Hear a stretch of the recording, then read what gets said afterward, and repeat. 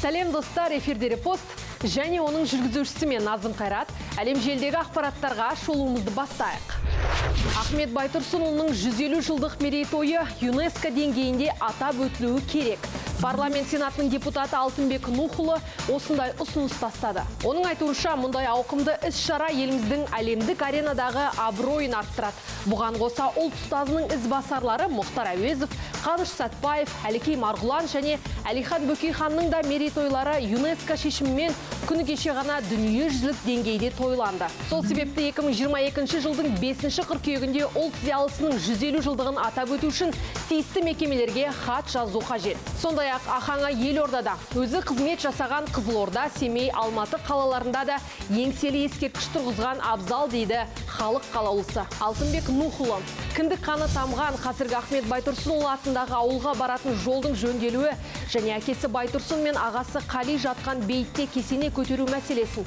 Ауылда баттандыру арқылы музей үйін заманауи қалыпқа келтіруді қостанай облысының әкімдігіне тапсырып нақты міндеттер қою керек. Бұдан бөлек депутат алаш қайраткеріне арнап деректі фильм түсіру ғылыми еңбектерін мұрағаттардан алып топтастырып жаңадан көп томдық жинағын шығару жұмыстарында қолға алу қажеттігін жеткізді. Желі қолданушыларының басым көпшілігі бұл ұсынысты бірден қолдады. Жақсы болар керемет жаңалық. Ағартушының еңбектері кеңінен насихатталатын болды деп жазып жатыр.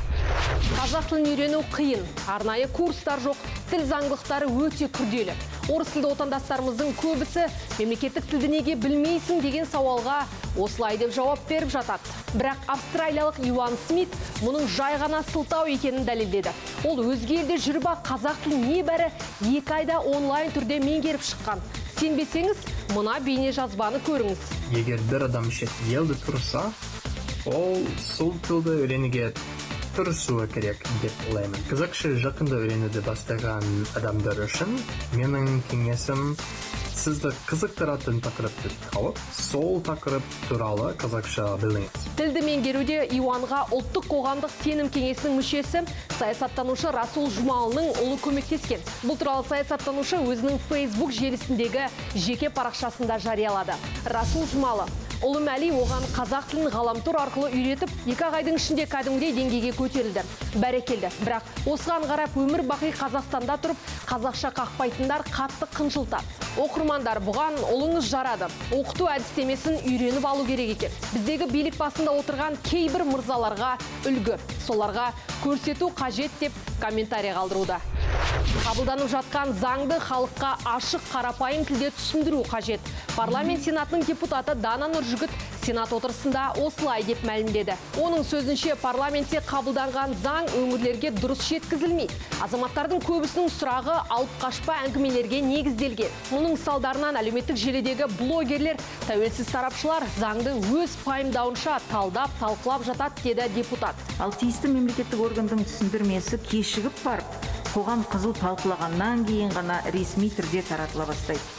Яғни халық пен билік арасындағы медиа коммуникация проблемасы бар. Халық қалаулысының ұсынысы желідегі жұртшылықтың қызу талқысына түсті.